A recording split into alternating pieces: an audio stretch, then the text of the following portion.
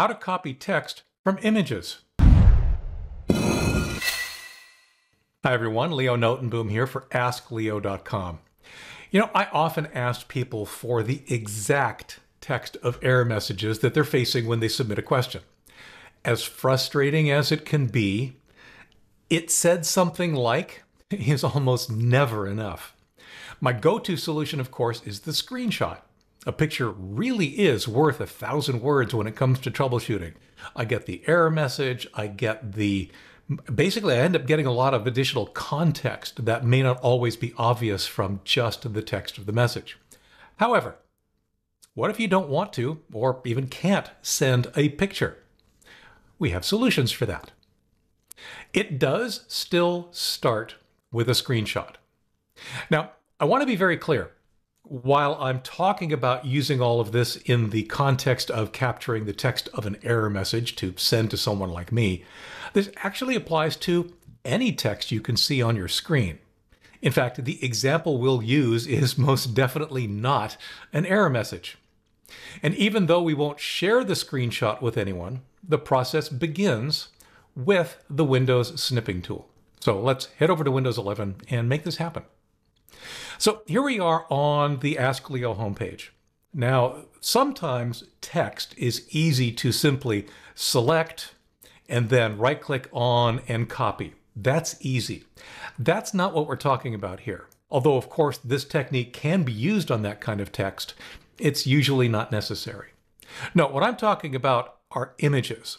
So these little cards here, these testimonial cards I have, they are images. So if I try to select something, you can see that it's just not selecting the text. It's trying to do something with the image.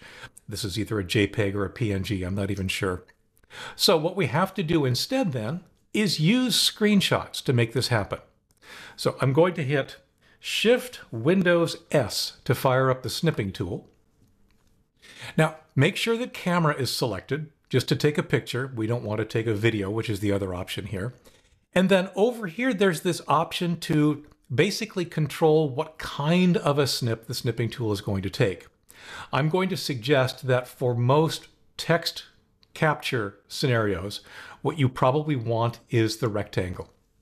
So I'm going to go ahead and click on the rectangle, even though it was already selected. Now we simply draw a rectangle around whatever it is we want to have the text of.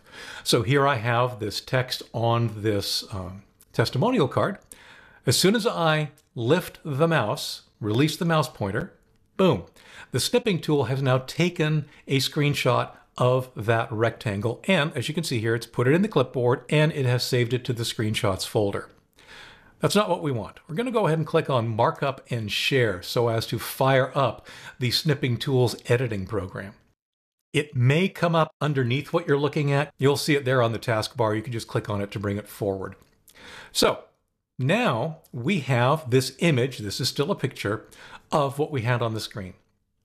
This icon down here, the icon to me is meaningless. I, I, really have a hard time understanding exactly what that icon really is.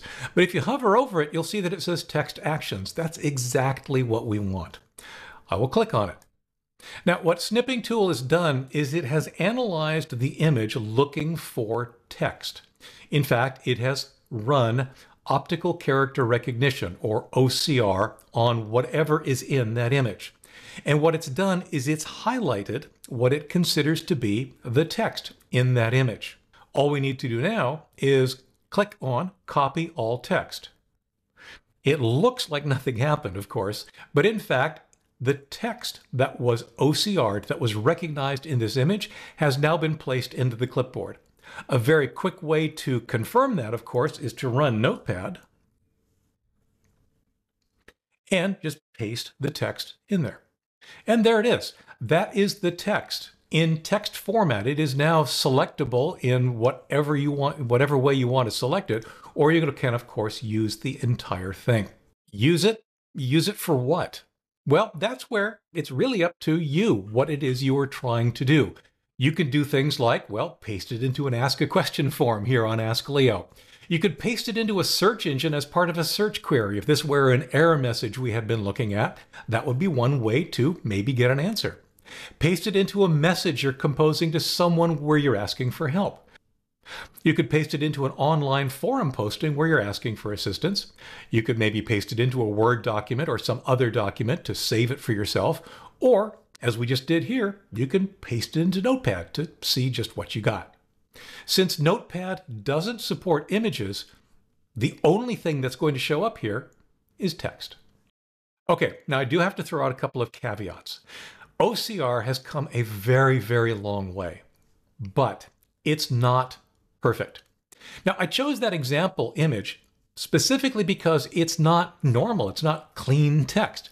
It's a handwriting style font, actually based on my own handwriting from many years ago.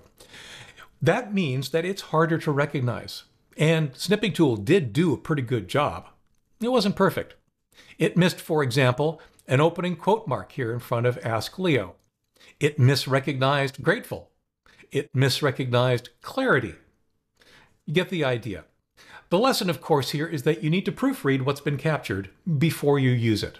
The good news is that it's typically a simple edit or two rather than retyping the whole thing.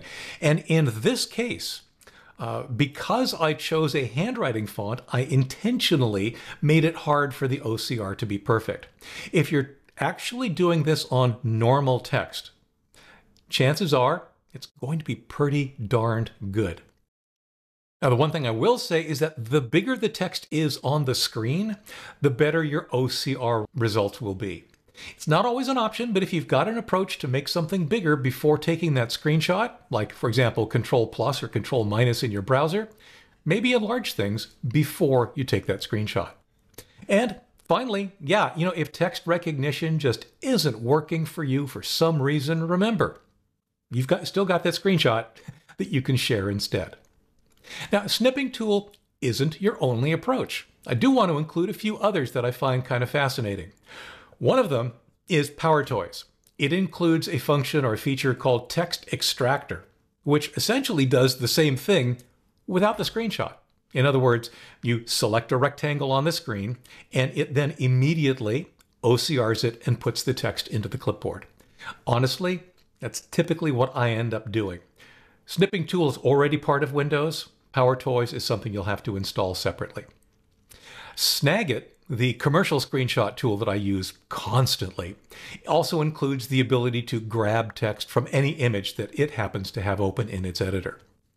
Now, the one that I find fascinating is ChatGPT and probably some of the other AIs right now. They do some amazing things with images and OCR. I've seen them take some horrible, horrible handwritten content, typically my own, and extract a nearly perfect textual representation of it. For now, though, the process for that is usually to upload a screenshot to the AI for it to work on. But honestly, I expect this is going to get embedded into the in-browser AIs or even the in-system AI tools in short order. There are many, many ways to extract the text you can see on your screen. The bottom line here is that remember that this functionality exists and that it's become very powerful, particularly when faced with an obscure or a complex or lengthy error message. It's a great way to capture what's happening in preparation for asking for help. For updates, for links related to this topic and more, visit askleo.com slash 181247. If you've got a question maybe something that you want to include an OCR error message with, visit askleo.com slash ask. If you're interested in signing up for my weekly Confident Computing newsletter where I talk about this kind of stuff all the time, visit askleo.com slash newsletter. And after all this, if you're interested in maybe helping AskLeo.com stay in business, stay on the air, visit AskLeo.com slash patron for all the options. I'm Leo Notenboom, and this is AskLeo.com. Thanks for watching.